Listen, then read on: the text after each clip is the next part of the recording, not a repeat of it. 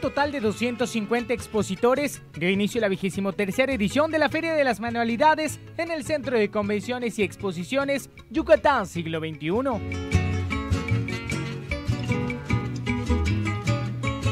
La feria, como ya es tradición, no solo comercializa y crea contactos de negocios, sino que imparte capacitación el recinto se convierte como que en un lugar de enseñanza, porque van a haber talleres para todas aquellas personas que les gusta y están involucradas o le quieren usar como una manera de adquisición económica o que les guste como terapia ocupacional. O sea, llegan muchos renglones, van a encontrar las grandes novedades que tenemos, como es eh, la elaboración de galletas, pintura sobre madera, pasta flexible, tejido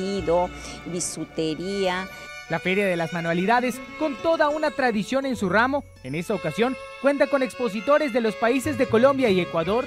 Tenemos expositores de la Ciudad de México, tenemos de Monterrey, Guadalajara, eh, Chiapas y internacionales Ecuador y Colombia.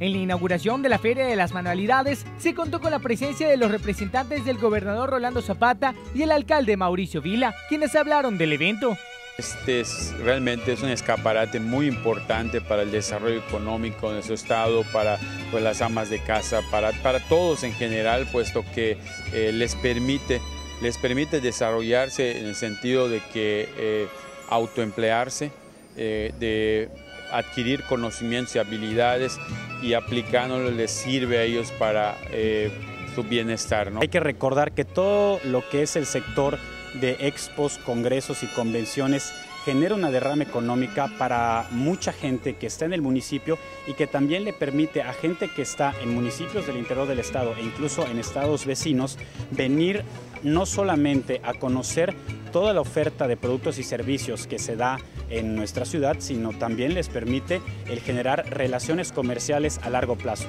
La Feria de las Manualidades en el Centro de Convenciones y Exposiciones Yucatán Siglo XXI estará hasta el próximo domingo en horario de 10 de la mañana a 9 de la noche.